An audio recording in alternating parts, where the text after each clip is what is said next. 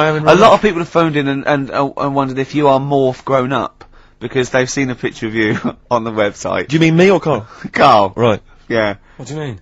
No, because uh, people have seen you uh, next to a picture of Morph, and it is exact. If you draw, ra- honestly, Karl, if you lay you down and draw around you, it's exactly the same shape as Morph. Yeah. Some, uh, uh, or the Pillsbury Doughboy. or yeah, gingerbread man. you do look like a gingerbread man. That's great. oh, I love Karl. I we think you're brilliant. We like looking at you, talking to you, hearing what you've got to say. We think of you, don't we, in the week sometimes? Rick, I had a bit of, of good news this morning. Go on. And I don't mean this in any way. I'm sure it's an emotional thing for her. But uh, in the Sun it says that Dido, uh, her wedding's off. Right. Just thinking, ding dong. Because for some reason, I don't know what it is. I was having a chat with my mates. I've always been under the assumption I could pull Do- Dido. Because she's. Because she's quite ordinary. Do you know what Yeah. I mean? She looks a bit ordinary. She's quite an attractive one, but like Would that you, be your opening chat-up line? you look quite ordinary. Dido, I don't think you could probably get anything better than me, because you're not too hot yourself. Exactly. My name's I'd Steve go, Merchant. I'd wear. I, I, actually, what I'd do is I'd go. Right, I'm not going to meet you in the flesh, but I'm going to send a you picture of on video. Yeah, yeah, this is me on. Top TV Masters. What do you think? See what you think. Yeah, and if you think it's good, well, I'm certainly no worse without the lighting and makeup. so don't worry about that. Exactly. Oh, Oh, Should we have a Dido. little bit of Bowie? We have a little bit Bowie? What was your thing about Dido? That uh, she's like a kind of. She's a bit like a receptionist. Who got up and sang once because she At didn't know karaoke. tunes, and uh, a bloke came up. Uh, Hi, I'm uh, Gridlin Records. I'm thinking of releasing a CD, and it just goes Yeah. mental. Exactly. Everyone buys it. Yeah. It's good though, isn't it? But she should be doing photocopying or filing. do you not think? Just the way she looks, she's got that very kind of No, but suburban the whole look. look thing annoys me. Do you know there's another pop stars thing starting? Yeah. Like it's going on i- in in Ireland. Apparently, it's it's Ireland's version of it. okay. And today it was like you, you saw all these kids rushing in. There was fat ones there and ugly kids, and you're thinking it's sad and everything. They might have a good voice, but they've no chance, right? And there was a woman there who looked a bit like Britney, and the bloke straight away before even hearing the voice. Uh, Britney looking like over there, go and get her in, give her a ticket, she's through to the next phase. And it's just annoying. Dido isn't beautiful, but uh, she's nice enough. Do you know what I mean? Well, yeah, that's why she's fine for me. I mean, I, I you know, she, you know, know, I mean, my it's standards are quite low. So, fine. just, do you think Steve should go out there then? I mean, that's what we're asking you. Do you think he should? yeah. Okay. So a little bit of Bowie. Thanks, Karl. Try and fix that up for next week. Fashion, David Bowie. We were doing a bit of bit of voguing, sort of cross with body popping there, weren't we, Karl? Yeah. Yeah. Played that last night, Rick, during the set. Yeah. Uh, that was described by uh, Zane Lowe is uh, one of the best sets he's ever seen. well, he didn't say those No, no, no. But I, I, I think uh, Zane just sent an email and said he's giving up because there's no point. Yeah, exactly. If, if when he hears stuff like that, he said, he's, I, I, I thought I was a DJ. Yeah. After seeing Steve Merchant, I'm obviously not. exactly. Yeah, exactly. No, so uh, yeah, Big Boy uh, Jim was down there. yeah, he, uh, Big Boy Jim was going, wow, uh, you know, I don't know what I'm thinking. yeah. But I like the idea because you know, uh, Fatboy Slim did uh, Brighton Beach, didn't he? And he had like twenty thousand people in Brighton Beach. Yeah. China, everyone was loving it. Just the idea of me down in Weston-super-Mare doing the same with the 80, donkeys and the- 86 people. Have you ever seen, have you ever seen that thing, karaoke challenge on Exactly. uh, Challenge TV? Yeah. It's Oh, great, they're all doing it, and it's sort of like, um, Jonathan, what's his name from Jonathan Bread, Morris, and, yeah. and all, all those sort of, uh, people there. And the, the camera falls out, and there's about eight people there. Yeah, but what I love about karaoke challenge is it's not even night fever. Do you imagine that? I mean, talk about. Wow. Oh dear. We tried to get on that once, didn't we? On karaoke challenge. Yeah, when we were doing that comedy yeah, we were lab. I was we going to do it in character, yeah, wasn't were I? gonna do it, yeah, And David so we- Bowie. so we'd have a little bit of footage, but Yeah, that'd they, be uh, great. Yeah, They wouldn't was- even let that you was on. terrible. I That was how minor a celebrity you were at the time. I remember once, right, this is how sad we were. We tried for about an hour to get on the Chris Moyles show. They were doing a competition. He was doing this competition. Um, uh, it was about golf, wasn't it? So it was like things with, uh, um, It was no, it was yeah, it was. You had to think of a, on- a song title, but Yeah. you had to make it into a, golfing pun. And people were calling up and going, "Now what about Drive by the Cars?" He was going, "Drive by the Cars, very good." And it was like uh, uh, things like you know what I mean, things like something T and that. And I wanted to phone up and go, "Hello, Chris Moyles. Yeah, you know, what about um Spandau Ballet Golfy Golfy?" Something. Just be, and I was just like, we tried. We must. I was about Hour thirty tried to quid just to get on and do something stupid. How pathetic and they wouldn't that? even let us on. What Yeah. were the others? It's a good game, that. What? Phone in if you've got any amusing puns on, On songs golf. and golf. Yeah, please. what did you say? What was it? What, A Spandau Ballet Golfy Golfy. uh, yeah, do you like that one? It's a good game. Good little game. Uh, Yeah, you're thinking. else? You're thinking of what are you're doing, Karl. You're thinking on the radio. That's what you're doing. It's a first. You're actually broadcasting thinking. Can we just be quiet and just listen to Karl think? Yeah. Oh. Anything? Got anything there? Any golfing puns? You know, it- some pe- people say, Karl, it's impossible to catch yourself not thinking. Now, I reckon if there's one man in the world, Hole in my shoe. That fella and the young ones. Hole. And there's one on a golf course. he's got, he's got a little, has he got a little cold as well? Because you're, Yeah, you're I'm f- I, well, I was telling uh, Steve before I went on the tube last Saturday night. yeah. Kills me. There's, there's every time I go on the tube, uh, I just get full of a cold and everything. I'm full of flu, and it's it's down to going on the tube. Is it? Someone told me that every time you go on the tube, it's the equivalent of smoking two cigarettes Really? because of the, the sort of b- gunk and pollution down there. And have you heard the other one? And, and, and I always smoke two cigarettes Yeah. on the tube. Yeah, Yeah. because of my nerves. Yeah. yeah. What's the name one about the uh, Oh, there you go. all the air, all like the hairballs that are in the tubes Oh, because yeah. of like people stood on the platform, Mm. trains go whizzing past at high Yeah. speeds, Yeah. right? Takes a bit of your air off. Don't say anything. what, what, you mean don't question the science of that? Well, he means because of my it doesn't head, affect Right, him. oh, I see, yeah, yeah. Yeah. right? And um, apparently they all get caught up in the in the tunnels, and they have to like clean it out now and again because there's big hairballs on the on the lines. It's a, d- On the dirty lines? on the, on the on the train lines. Right.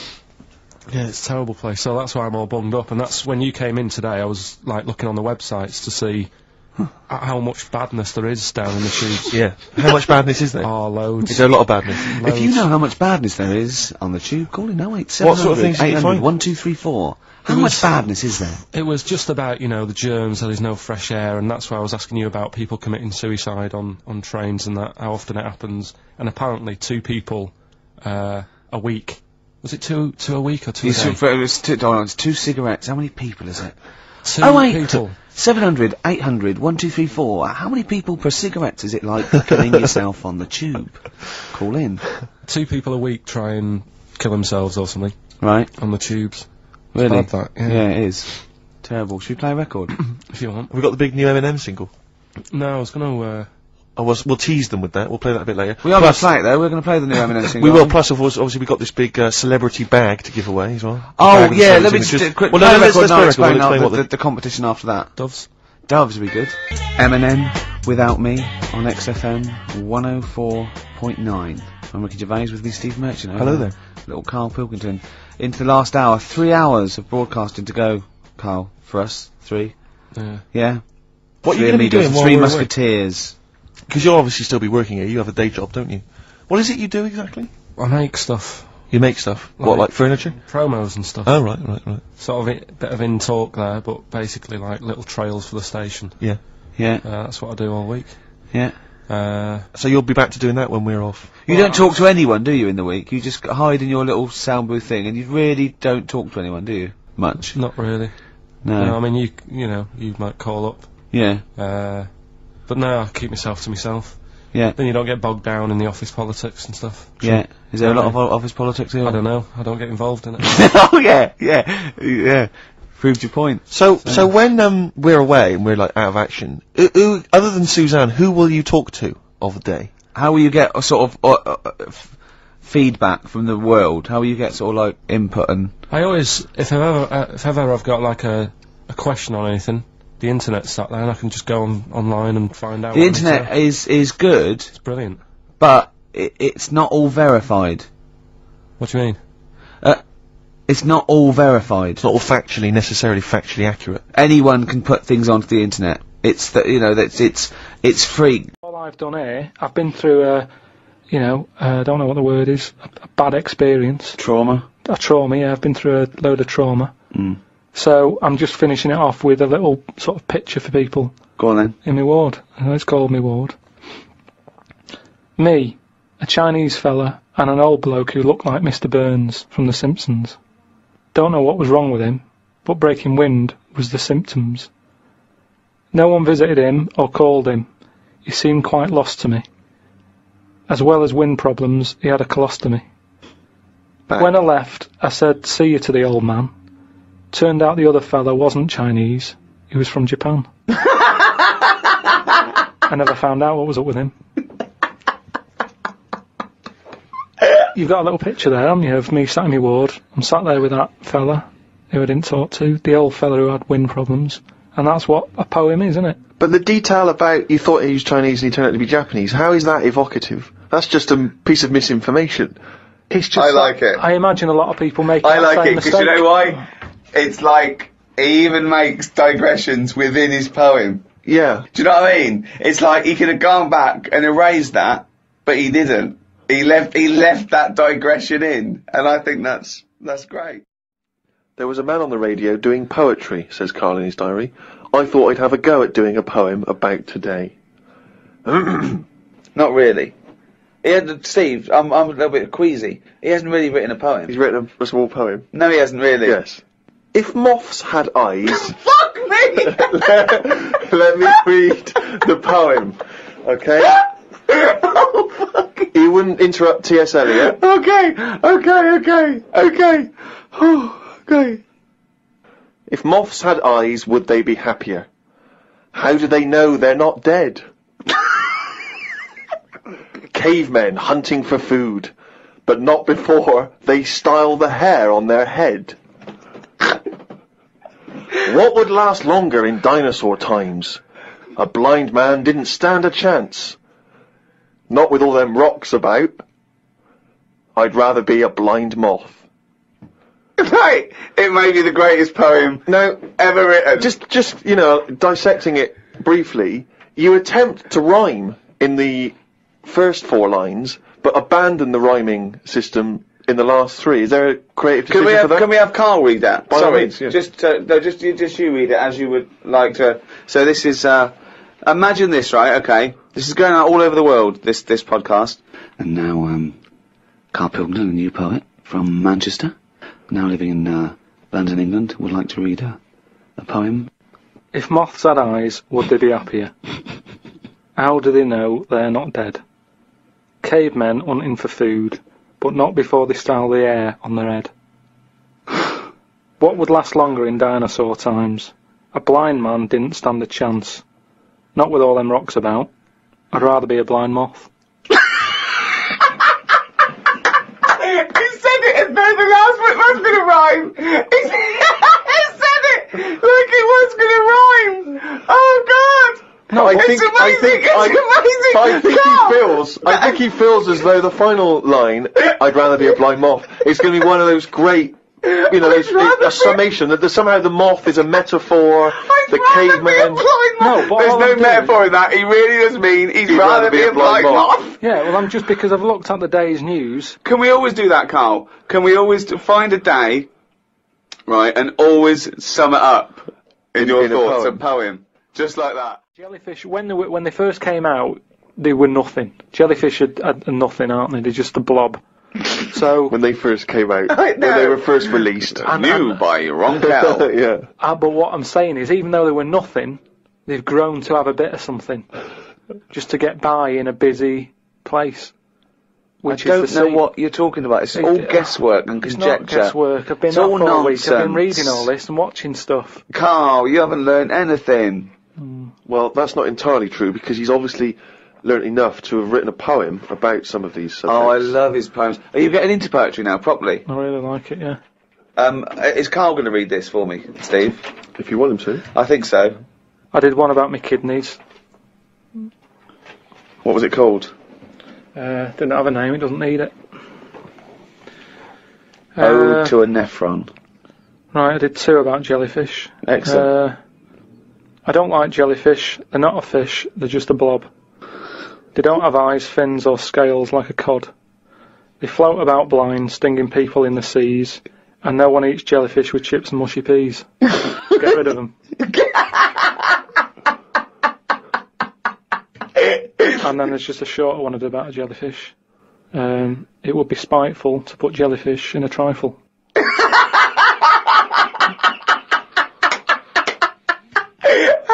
yeah, it certainly was. Ah, So, That's great. That's really good. Because it's jelly. He's he's he's done us there, Yeah, Steve. yeah, yeah, yeah. That's yeah. a really good poem. It would be spiteful to put jellyfish in a trifle. Yeah. A little half rhyme. Yeah. um, do you want the one about my kidneys? Yeah. Uh, For God's sake, me belly ache. The doctor said it's me kidney. He said he's got to stick a tube up my knob. I said you got to be kidding me. For God's sake, knob ache.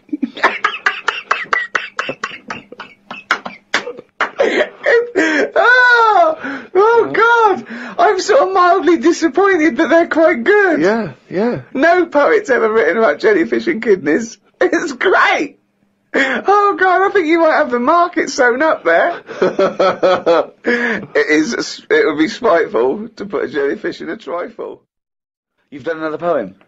Yeah, you said, you know, just just do one. If you have a day where you've had a lot of emotions. Well, I I loved the poem, and so did uh, the listeners, and I knew they would. So if you can do that every week, that'd be a joy Well, you for can't me. you can't force a poem though. No, I so know. diary's easy to do because you just write down Yeah.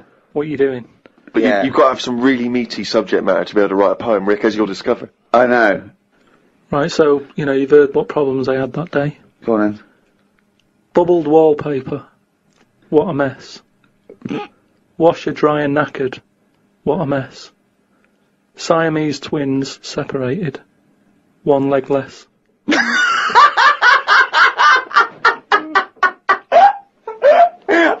know what rhyming scheme that is again. Oh God! Oh, God! Oh!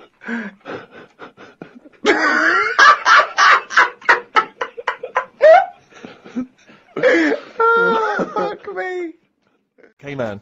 Anything you can remember from school that you learned that you had to maybe uh, memorize? French. French. Not necessarily French. You could be Anything, anything you can remember. This can be anything you remember from school, apart from the orange stuff stops cancer. Yeah. It, it's not the cough that carries you off, it's the coughing that carries you off in. Ricky Gervais, Steve Merchant, Karl Hilton. Go on. Right, this one.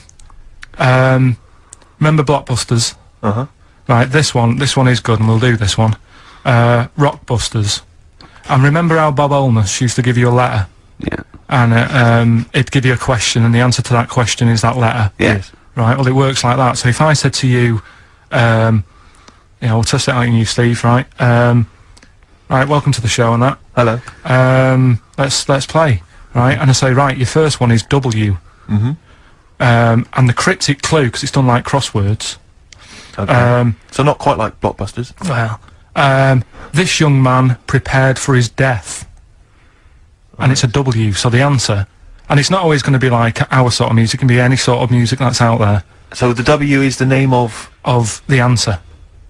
I understand that, but is the answer always the band name, or is it? is Yeah. it, it it's always the band name, is it, or the artist? Yeah. And and so would the W be the surname, or would you have both the initials if it was someone's name?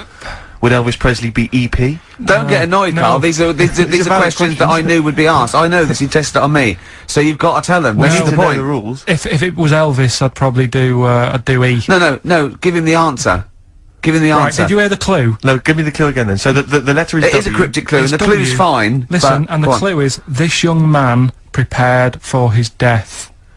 This young man prepared for his death. Yeah, This young man prepared for his death. and it's a W, and it's his first name. That's what you need Well, to see, know. that's the yeah. Yeah, but I don't. Well, shouldn't we have the initials? Wouldn't that make it easier? I mean, Yeah, but they didn't do that on Blockbusters. It just had one Yeah, letter. they did. No, they did, they They did did. if it was a if. The gold one they often had us three or four Did they? letters. Yeah. Well, it was normally just one word. It wouldn't have been a name or something. All right then. W. W uh, Y. W Y. Will Young. Excellent. I Right. didn't so understand it. What was this the young clue? Will man, young- prepared for this young man. So he's sort of okay. mi- mixed, sort of cryptic. Yeah. But I mean, you know, it's, that's Yeah, a good effort. That's better than yeah. usual. No, it's that is better than it's usual. not bad, is it? So should we, do you want to play? Let's play Rockbusters. Yeah. Rockbusters. Uh, How many of these have you got? No, because No, just, just, just, wait. let's just clarify a couple of rules here, Karl. Let's just make sure we thought everything through, because I'm pretty certain when they get these things on TV, they at least have a go at them in the office first, before they put them straight on there. I'm sure that's how it works. I'm sure Bob Otis just didn't turn up the first day, and he goes, "We'll we'll wing it, it'll be fine. Bring the students in, let's have a go. I'm sure they did a little bit of preparation. So let's just check, we've got everything, every base covered. Yeah, I've Firstly, how many questions have they got I'll to tell get you right? what. Let's do this off air then. Right, educate me, Karl. Right. Well, uh, Go on, to mate. say? Right. Educate me. Well, what we uh, what we're looking at this week, we've we've done war, we've done um. We've else have we nailed done? that. We've nailed war. Did um. We summed up war with a little French bloke whose battle cry was "John's got a moustache." Right. So, and last week we did science. What would you do on science then? Off Airy kid, brilliant. right? Yeah. So this week we're looking at uh, medical problems. I'm sure we do Airy Kid every week. Mm. Um, medical problems. Then I've got I've got a couple of things under the banner of uh, colon. Then educate me. Yeah. Uh, we've got um, this is interesting, right? Do you know if you have uh, an operation on your brain, right? What they do is the. I mean, this is why I'd never go to the doctors. I don't like doctors because this sort of stuff freaks me out, right? They can operate on your brain, and what they do is they put you to sleep first, cut your brain case open, Your skull, yeah. The brain case. Yeah, yeah, yeah. and then wake you up and operate on you. So you sat there with your head open, Yeah. messing with your brain, and you There's don't no- feel anything. Well, there's no nerve endings, is there, in the brain? But still, it's not right, is it? Is it, what, you think they do it for fun? No, they but go, oh, go on, Reg, wake him up so he all freaks out. Go well, on, is, it, wake is, him up. it, is it necessary that you're awake? Do you think, or Well, they need the brain active, don't they? yeah, but it is when you're asleep. You're having mad dreams. I had a mad dream the other day. Go on. No, I might tell you about it later, but there's no sense to it. But so your brain's still your brain's Where's still, this conversation? Yeah, I mean, it'll turn out. I go, no, Karl, I was there. That wasn't a dream. yeah. no. Yeah.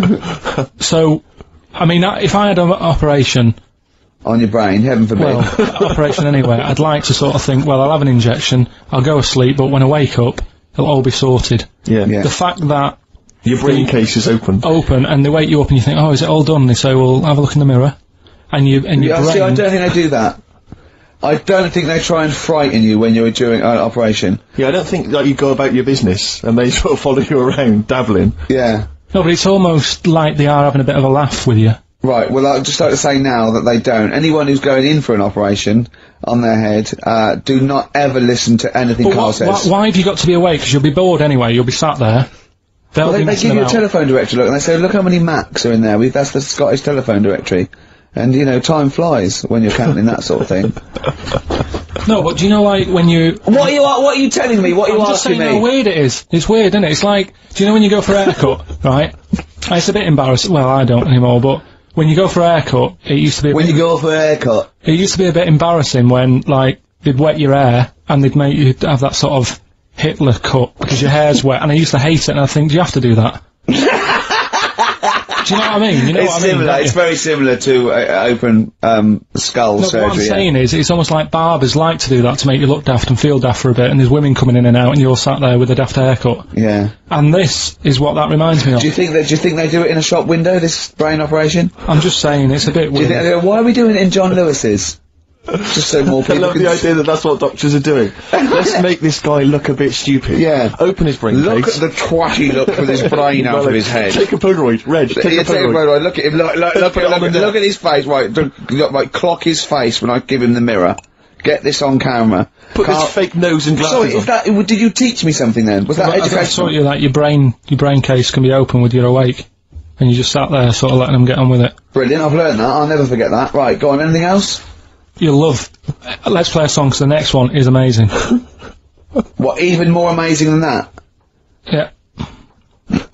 Play a song. Yeah, bit of Bowie. No email still, by the way. No, I don't think it's working. It's working. not working today. Lady so we'll- Stardust. We'll have to do a phone in for Rockbusters. Off the Ziggy Stardust album. All right. Bit of David Bowie. Uh, when's that ever hurt anyone, Steve? Never. Lady Stardust off Ziggy Stardust and the Spiders from Mars on XFM 104.9.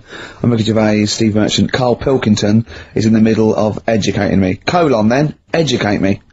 Right. So um, I've learnt that you can, uh, you know, fiddle around with your brain when awake. That's brilliant. I've never been a fan of doctors though, so this was a good one for me to Yeah. to look up because Yeah. Did I tell you the time when uh, the doctor said uh, I was going to die? Alright, keep talking. Right, ages ago. Um, must have been about fifteen, right? And uh, at lunchtime there was this. We used to have a choice of stuff to do at lunchtime, right? Used to have um, like a like a burger place that had an arcade machine in it, right? So we used to go there and play on that and have a burger. Or there was this baker's, right, that my mum worked at, and uh, did great cakes and stuff, right? So um, she used to like bring some home and that, but she couldn't always bring them home every night because You know, they, they cost money and she used to get them for free. And they used to say they'd rather chuck them away than give them to the staff because there's a chance that the cream might be off. Right. Right, so they used to chuck them round the back. So I used to go round the back with my mate and eat a load. Brilliant. Scavengers eating out of bins. No, it was really, it wasn't out of bins, they were still in trays, but they just stacked them up near the bins, right? So this got out, I mean, it used to be chocker. Yeah, once the school found out, everybody used to go there and it'd be like, well, have a cake. the Headmaster crawling through, fighting the kids off. Right, so I'd have, uh, you know, you just eat, I don't know, six jam donuts or something, and then you'd spend your dinner money on the arcade machine. Brilliant. Right? So it was a good, good afternoon, really, right? So you'd do that, and this one day I must have had six or seven, uh, jam donuts, a few Congress tarts. Uh, the Congress tart? just, I love them, it's me, fa- I can't get them in London, right? So I'd have some of them. Uh, and uh, if anyone maybe- can get a Congress tart um, for Karl in London, please let him know. So anyway, this day, that that was just a normal day. Do you know what I mean? You'd once, twice a week, you'd have a load of cake. In your life, yeah. Yeah, that's So all anyway- day in your life. Uh, were, were the frog boys there with the with the webbed hands and the big heads? So- and the horse in the settee? Uh, yeah. But the day after one of these days, I had really bad cramp in my belly. Right? I was like in agony, could hardly walk. So I said to my mum, "Oh." You could hardly stagger to the free cakes. so um, I was in absolute agony. I said, "I think I don't like doctors, but you'll have to get a doctor in because I don't know what it is. I can't walk." She gets the doctor round. Uh, I won't say his name, but he said, uh, "He said, well, doesn't look like he's got long left." Blimey. So I was a bit like, hang on a minute, I've only had a few cream donuts. Yeah, My mum was panicking. sure. He went, my dad came in from work, she said, oh, something's really bad with Karl, I think it's serious, He's- you know, the doctor said he ain't got long left. So he said, what, he said that and just left? So she said, yeah. Said, I'll have to call him then. So he called him up, said, uh, what's all this about, you know, Karl hasn't got long left, how long's he got? So he goes, oh, I was only messing. He's just got, he's just had some bad cream. Can you believe that? Well, the thing is, I like the fact your mum didn't ask any questions. I know. She didn't but go she into detail. I know, no, well, I- can I- you explain more, Doctor? No, I got to show off. I, but she doesn't- she I, no, doesn't no, like no, I'm- you know, I don't want to diss you or your family, but I imagine if I was there, I'd have known the doctor was joking. That's all I'm saying.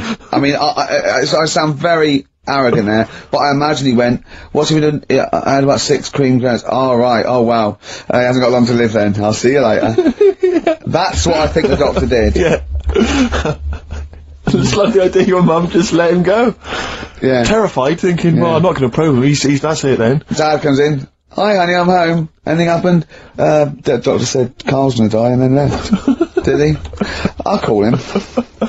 But anyway, that's why uh, these sort of things fascinate me. So we'll move on to this next one, right, which is brilliant.